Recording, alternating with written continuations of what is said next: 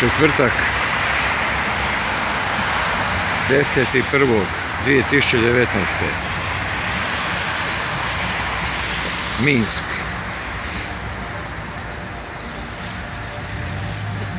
Ovo je lokacija Puškinskaja. Tu je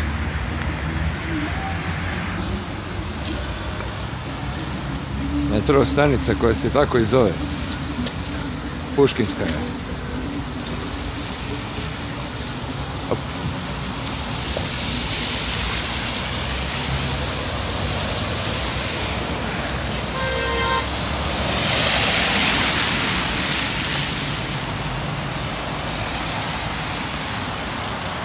To je veliki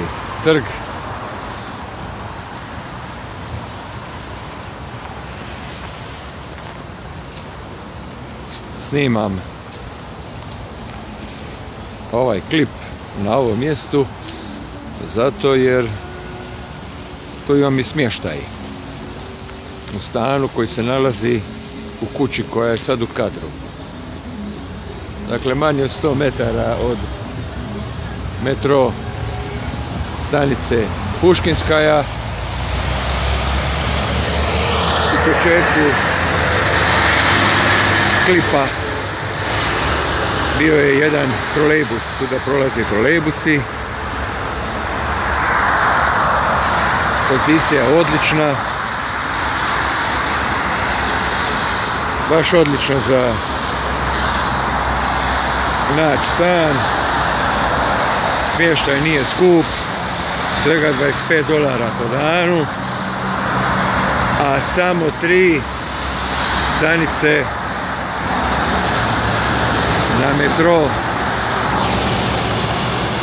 do centra, do Njemiga ili četiri stanice do Kastričkaja. Evo, još jedan trolejbus prolazi. Ja jako volim vidjeti trolejbus. Eno ga. Ovo je metro stanica Kupalovskaja.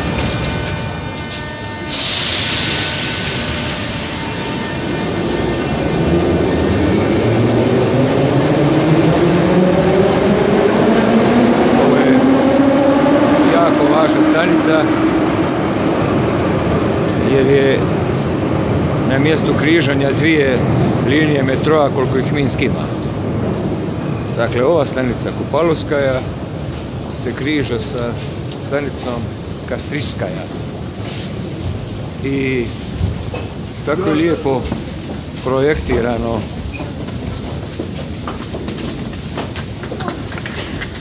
Projektirana veza između jedne i druge stanice što ću sad pokazati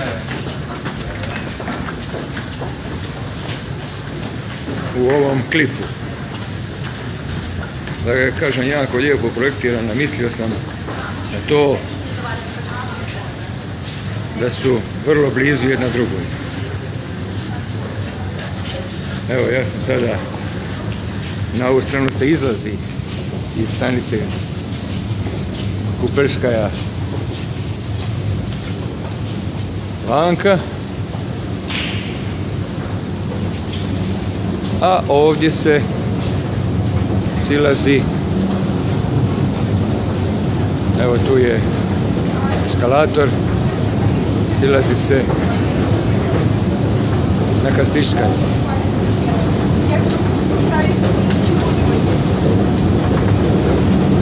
Evo nas odmah na stranici Kastička. Znači ovo je Kastrička je očito na nižem nivou i silazimo dole samo što smo izašli sa Perskaja,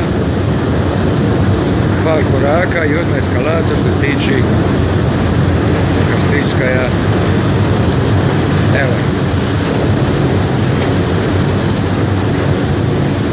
Ovo je sad druga linija. Minskih ima dvije.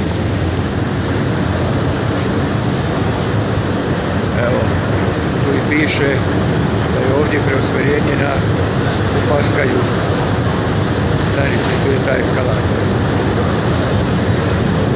Eto tako. I dolazi vlak podzemne željeznice.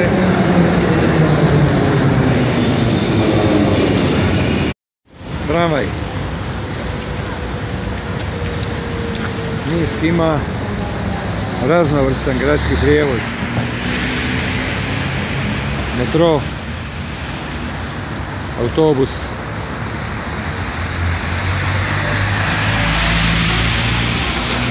tramvaj, evo ga.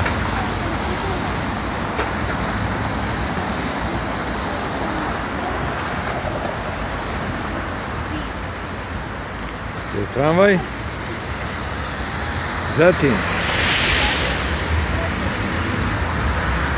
ja sam spomenuo autobus, jedno tamo jedan žuti. Evo sada prođe. Evo je autobus. Cijene su bakatelne. Za jedan dolar mogu se kupiti tri karte.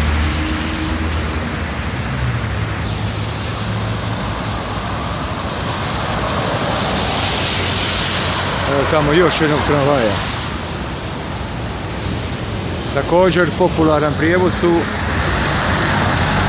maršutke. Pravilno maršrutke, ali mnogi kažu bez ono evo, evo, evo maršrutke. Eno ona narančasta, eno tamo bijela, onaj bijeli kao veliki kombi. To je putnička maršutka i onda onaj plavi, eno ga tamo. To prijevoz putnika.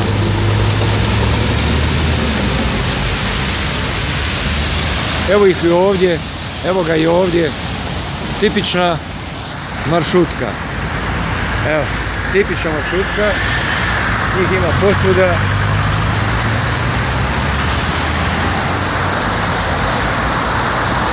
Naravno taksi da ne govorimo.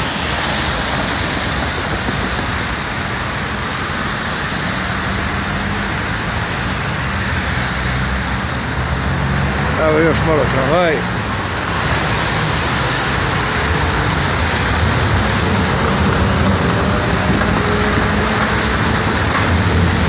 Ovo je prospekt nezaležnosti, dakle bulevar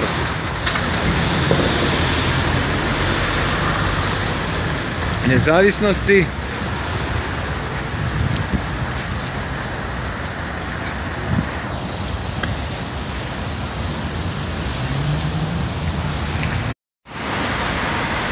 A ovo je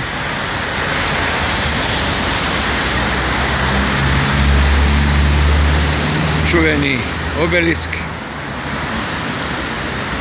na plošči Pjera Mohi ili plošća pobjede. Dakle, trg pobjede. Tu mora negdje da je vječna vatra.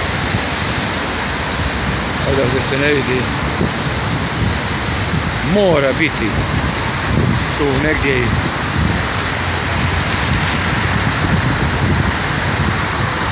Erminski grad heroj. Eno, eno je tamo straže. Eno i počasne straže, tamo se baš mijenja sad. Mijenjaju se stražari. Vječne vatre.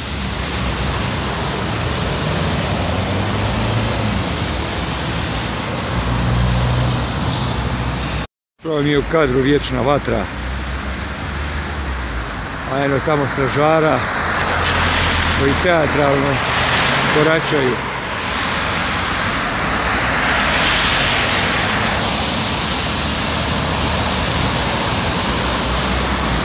Uglavnom, ili je bila smjena straže ili će biti stražari vječne vatre. Dakle, obelisk na plošči Pjeramohi plošča Pjeramohi ili plošča pobjede trg pobjede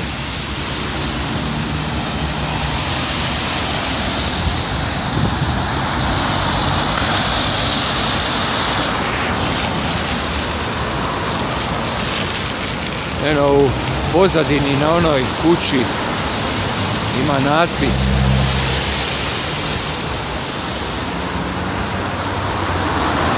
Hoću ga snimiti u cijelosti.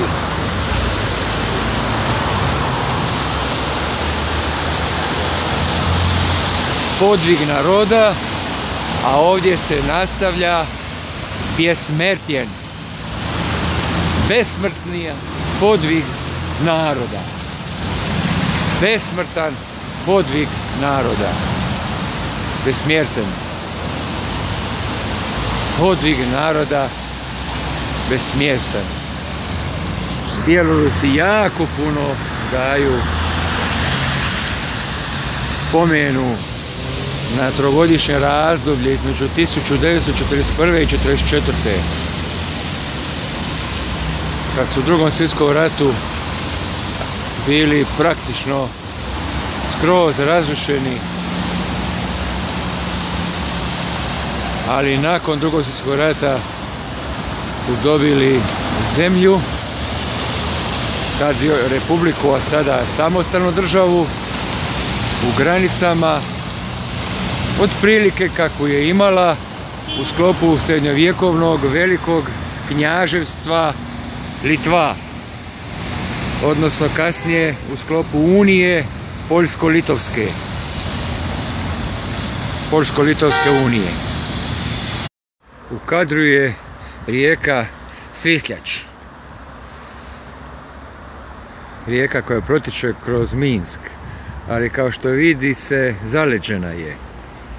Ja se nalazim dakle na desnoj strani, jer ona teče prema tamo, u ovom pravcu kako kadar pokazuje. A sa one lijeve strane je dio parka. Dio parka koji je zapravo se nalazi i sa jedne i sa druge obale Svisljača u ovom dijelu Minska. A ja ću sada preći kroz ovaj pod, ispod mosta ću preći kroz ovaj tunel da dođem do drugog dijela parka, odnosno rijeke.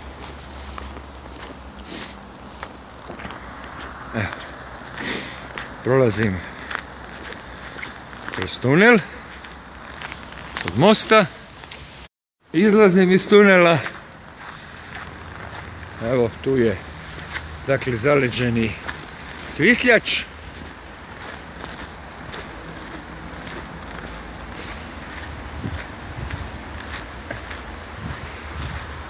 Hladno je, ali je danas promolilo sunce i snimke bi trebale biti jako kvalitetne. Čisti zrak, ovo je park. Veliki gradski park.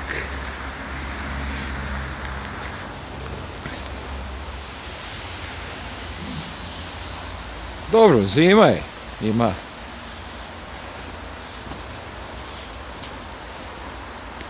krcato snijega. Ali šetat se može, sjedat ne, šetat se može.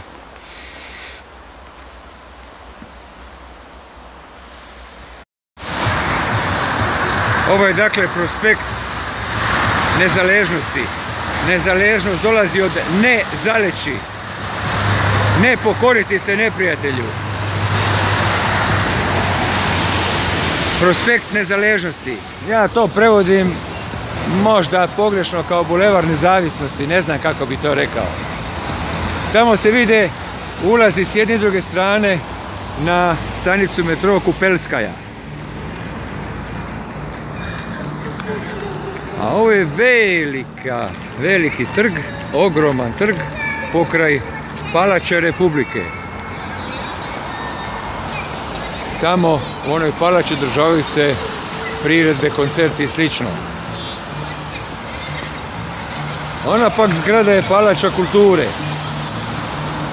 A pokraj nje s jedne druge strane prospekta su ulazi na stanicu Kastričkaja. To je ono mjesto koje sam već bio prikazao gdje se dvije metro linije križaju. Svejedno je kuda će se ući na bilo koju te dvije stanice. Preko puta je park. Sada na drugom, drugoj strani prospekta nezaležnosti odnosu na trg gdje sam se malo prije nalazio pokraj palače pobjede. Inače se taj trg zove po oktobru Kastričnik. Kastričnik je na bjeloruskom mjesec oktobar, listopad. Zato kastičarski i kastičarska metro stanica i kastičarski plošid, kastičarska plošid od kastričnik što znači oktobar. A ja sam sada pokraj, mislim, pokraj parka s jedne strane, a s druge strane je dom oficira. Dom oficira i ono što je jako važno, to je jedan spomenik, to je jedan važan spomenik. Važan spomenik, postavljen je tank, kažu da je to prvi tank Crvene armije koji je 3.7.1944. ušao u Minsk prilikom oslobađanja tamo piše od njemačko-fašističkih okupatora. Eto. I ovaj je spomenik posvećen tenkovskoj brigadi.